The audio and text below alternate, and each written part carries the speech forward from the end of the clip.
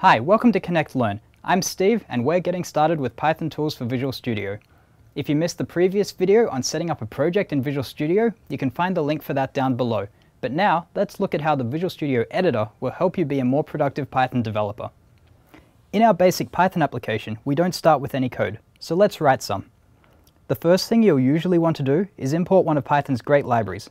So let's start a from import statement. Now we have a full list of the modules that are available for import. This will vary based on your version of Python and which libraries you have installed.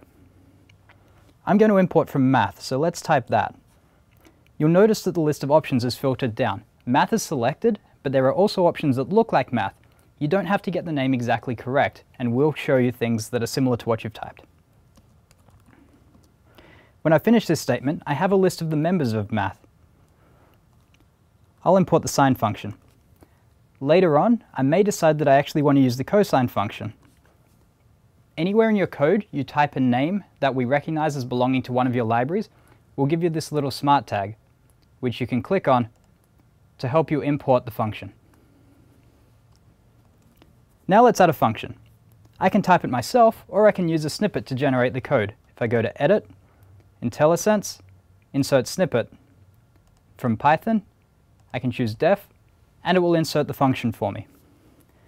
I'll call my function make.string and give it one parameter x.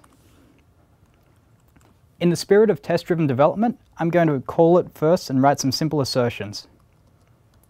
And you can see we already know the name of your function here.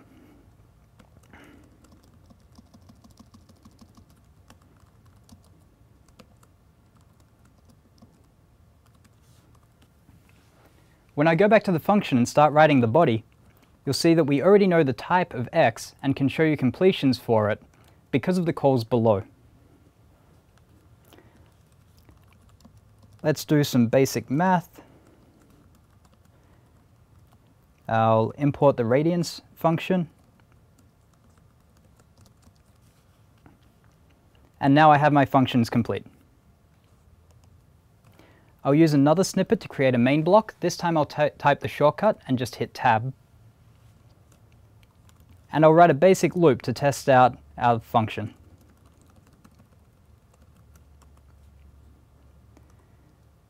When I call the function,